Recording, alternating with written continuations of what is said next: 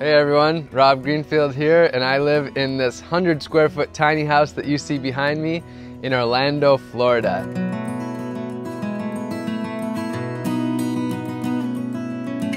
Today, I'm going to talk about the challenges of living simply and sustainably in my tiny house. Before I get started, I just want to say one thing, and that is that this is just my example. Don't look at this video and think that it represents the tiny house movement. This is just my life that I'm sharing with you today. People have all sorts of different examples. Some people do this with families. Some people do this in cold climates where it freezes versus tropical climates where it's warm year round. Some people have tons of money. Some people have very little bit of money. Some people are more physically capable than others. So look at this as one example and take from it I'm trying to do things in a way that is very simple, very sustainable, and uses very little bit of money. And I'm sort of on that extreme side of the spectrum there. So just keep that in mind that this is just my example that I'm sharing with you. Number one, it is tiny. Even for a tiny house, it's pretty small. At 10 by 10, it's 100 square feet. And I'll be honest, it's a little bit small for me especially with all the different projects I'm doing. For example, if I want to dehydrate using my dehydrator, there's not really a spot for that. So I'm either sticking it on top of my freezer or my desk, and I don't have that much space for the different projects. Plus, I'd love to be able to host people in my house, but the reality is it doesn't have a loft or a separate bedroom, so it is just a little bit too small. Number two, I live sort of outside. My kitchen is outdoors, my compost toilet is outdoors, so that's a lot of going in and outside of the house. And because I live a partially outdoors life, I have to deal with all those elements mosquitoes, the sun, the hot and the cold. When it rains, some of my stuff gets wet. So living outdoors partially certainly has its challenges. Number three, temperature and climate. I live here in Central Florida where it's one of the easier places to live outdoors in a way, although most people here think what I'm doing is crazy anyway. I grew up in northern Wisconsin, so I've experienced the winters and I'm happy to not be living through the winters. Like I said though, everybody has to deal with their own situation. So if I was doing this in Wisconsin, I would build a different way. Here in Central Florida, I don't have air conditioning, so it gets pretty hot on those 90, 95 degree days during the summer. But I have my house built under the shade of a big tree. And the great news about that is it keeps it cooler, but in the winter with no heating, that means pretty chilly nights and uh, some pretty chilly mornings. There's not insulation either. So that's a big challenge. Number four, I use repurposed materials to build this tiny house. And repurposed materials take a lot more time and really a lot more effort and creativity. Going to the store and just buying everything brand new and having your list saves really a lot of time and uh, thinking. And beyond that, the building is done, but still I'm trying to use repurposed materials. And with repurposed materials, not everything fits together always quite as smoothly. So sometimes it makes things a little less convenient. Along those lines is number five, and that's that I still try to only buy second-hand materials. So, for example, my cutting board has broken into three pieces, but I haven't found a used wooden cutting board yet, so I'm just using a third of that cutting board. So, you know, trying to do things as only second-hand materials and not buy new stuff has definitely been a big challenge as well. Number six, I am definitely a minimalist. And generally, minimalism and having a tiny house do go pretty hand in hand. But one of the challenges is that versus having no place whatsoever and having a place, there's always a lot of things to do, and more possessions are actually needed versus when I traveled with everything that I owned fitting into my backpack. I also try to have as few electrical items as possible. So I have a manual hair trimmer and that is definitely more work than just a electric razor.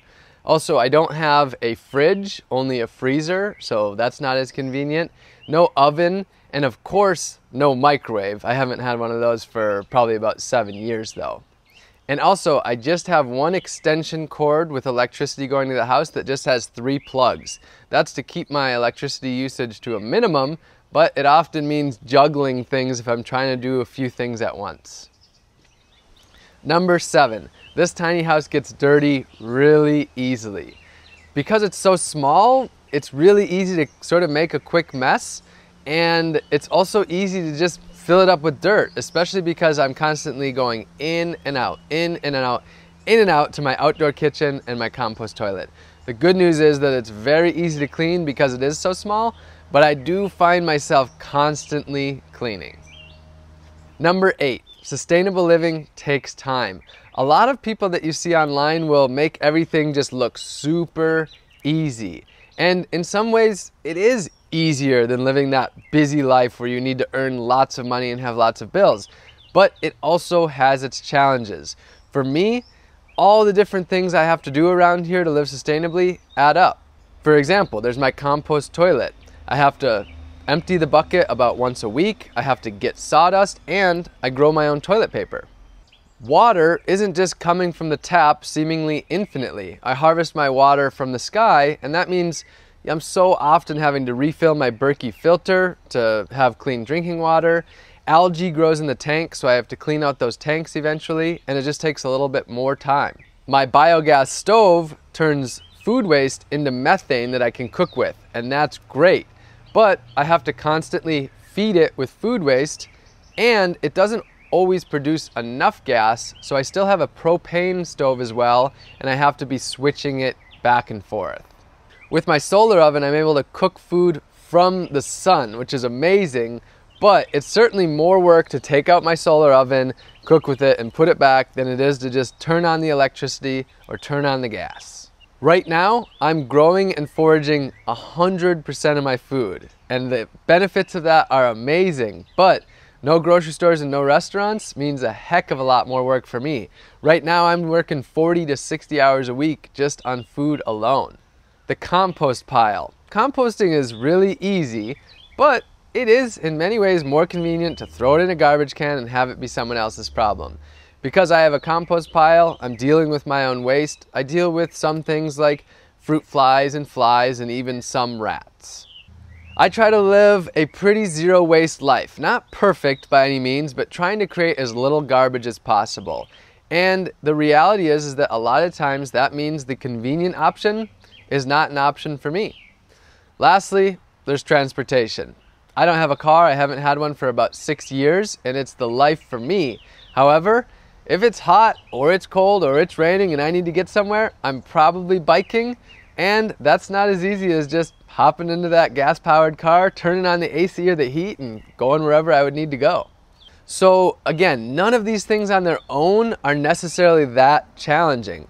It's just that to live a really sustainable life, it's about all my actions and how they combine and the impact that I have the world around me, and it really adds up. Number nine, I'm living here short term, only about two years in Orlando. So the reality is, by the time that I get everything set up and done and feeling the way I like it, that's when I'll be moving. So if I was here for a long time, I'd have time to really get things established and getting to get into that flow, but definitely staying somewhere short term has its downsides. Number 10. I built this tiny house in this little homestead on someone else's land. I don't own any land of my own. So that means that I don't necessarily get to do things my own way, that we have to work together we do a work exchange. So, in exchange for me setting up my tiny house here, I built a garden and helping her to live more sustainably, to grow her own food. And after I leave, the tiny house is hers. It's the perfect situation for me, but not being able to do things my way always certainly has its challenges. All right, number 11, and lastly, and there's a whole bunch of other ones out there, but for this video, this is the last one, and this is a big one for a lot of people, and that's that this tiny house is not technically legal. So I built it within building codes. It's a shed, basically. So that part's fine, but I'm not technically allowed to live in the shed. Now, for me, it's not really a big worry. I've had media out here every week. I'm on the front of two of the, the two largest local print uh, media outlets and multiple of the local news channels. So I'm not really worried about it, but it's a slight bit of a worry. Now, for me, what I'm doing is I'm following earth code over city code. I live my life in a way where, as long as what I'm doing is beneficial to the earth, my community and myself and isn't harming other people, then that's when Earth code will go over city code sometimes. And for me, that's what it's all about. Sometimes we have to break some rules to do the right thing. So those are my top 11 challenges of living simply and sustainably in my tiny house. But why make this video? Why even tell you about all this? There's a few reasons. One, I have no desire to play into any delusion that life is easy. And whether you're living in a mansion or a tiny house or simply or extravagantly, every life has its challenges.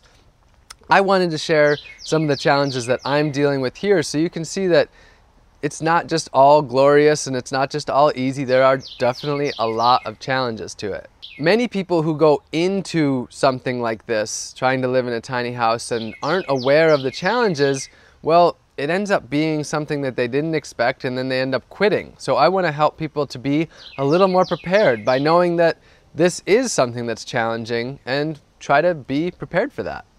And I'm definitely a big fan of just sharing my experience so you can learn from my challenges. And then when you're planning your tiny house, your simple life, you can use these things to cater it towards your situation.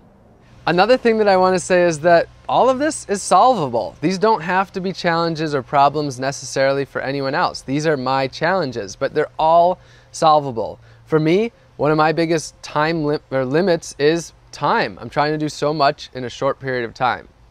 I also just want to say that I'm definitely not complaining here. This is the situation that I want to be living in. These challenges that I'm sharing with you today are all worth it. And I've known about these challenges because I've been living simply and sustainably for about seven years now. So I'm definitely not complaining. I'm just sharing the challenges of life. So, you know, why even do this with all these challenges? For me, it comes down to the fact that a quality existence takes time. We can live in a way where we get a quality existence, but it's a burden on other people. But to me, a truly quality existence that's beneficial to ourselves, our communities, and the world as a whole takes time. And that's why I'm willing to take the time to do all these things. So if you, you know, got a lot out of this video, if you got some inspiration, some motivation, some education, I'm right here on YouTube and I'm here to answer your questions and to share with you.